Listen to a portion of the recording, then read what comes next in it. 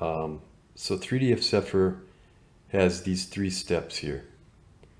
And this or this, um, you could go to images. That's usually what I do. I'll go to this, but you could do it from this box. It's probably easier to just go from the box here.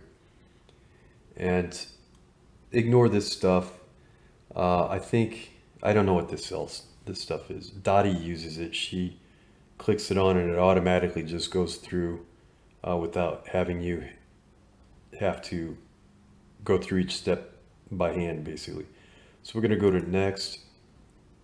And it says photos can be added by clicking on the plus button or by dragging and dropping them.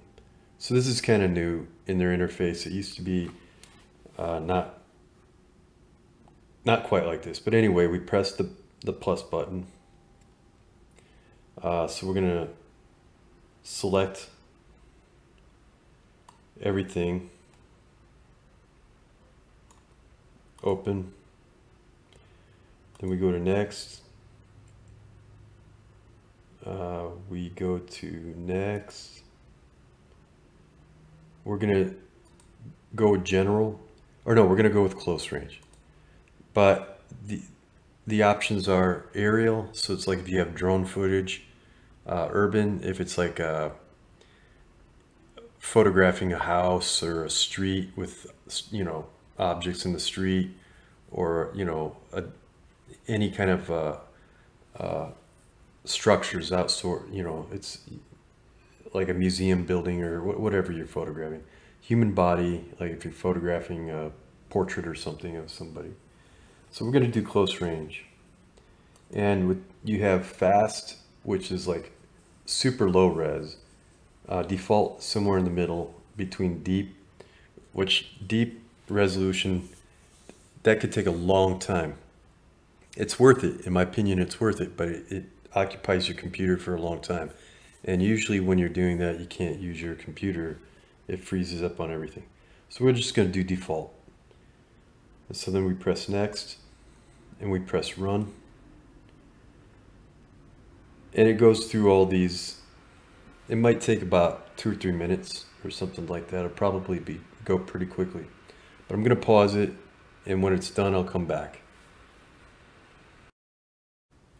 Okay, I'm back. So it's gone through everything. Uh, it says here 32 photos out of 36 have been oriented. So there were four photographs it didn't seem to like that it didn't use. That doesn't matter. That's fine.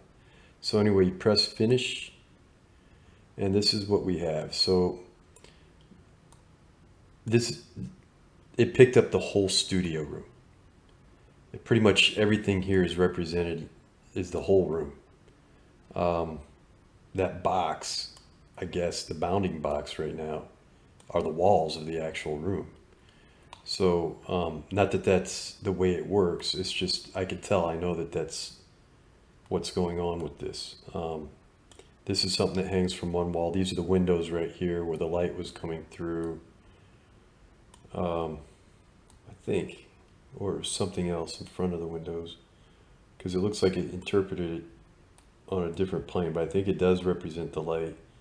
Anyway, so what we're going to do is we're going to eliminate all that uh, by pushing the this bounding box, pushing it in and cropping in closer to the actual piece.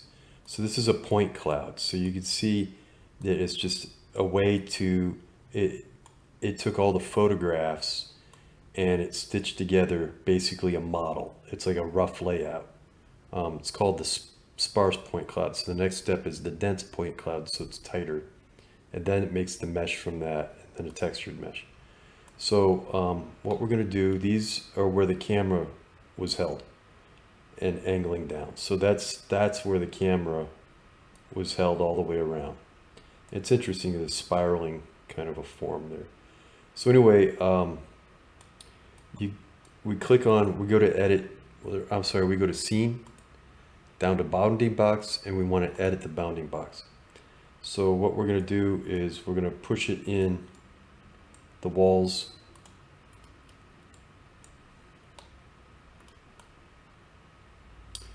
I have a hard time controlling this, so. All right.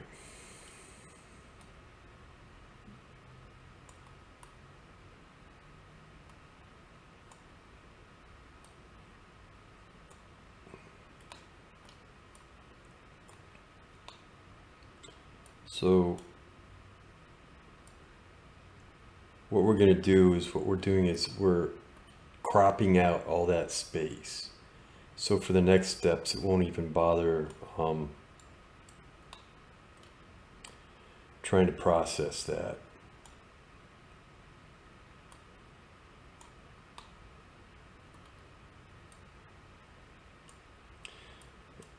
To me, I think it's all cool. Everything about this process is very cool to me. I think it's amazing.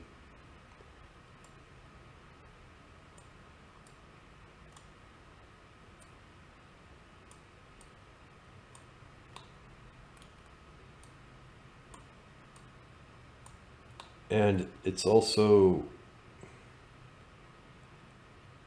if you're a collector or something like that, and uh, say you collect the owl figurines or something, elephant figurines. When I was growing up, there was always some parent that collected things like that. Um, you could document all of that stuff with this. And you could 3D print it if you want. Really, I mean, this, what I think the industry was hoping was that people would take their phones and they would go to a museum and, or wherever they were, uh, and photograph the way people do, you know, things that they see but they would make multiple photographs and they can make a 3D postcard essentially is I think what they were hoping people would be really interested in doing. And I had that hasn't really caught on yet, but uh, I think it will. So anyway, there we've we've crapped out all this stuff around it, and the next steps are going to just focus on that. So we're good with that. We can this, I think, is if I wanted to save it at this stage, you can save each stage. So you could export this. I don't really know what the rest of it is. I guess I, I really don't. I have never tested it out. I probably won't even bother with it. So anyway,